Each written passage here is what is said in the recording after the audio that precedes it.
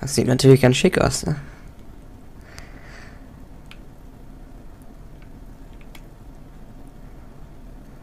Hm, welches Auto?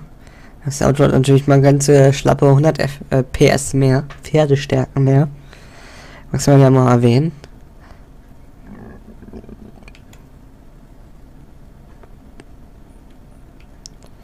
Okay, zwischen den Autos können wir uns aussuchen.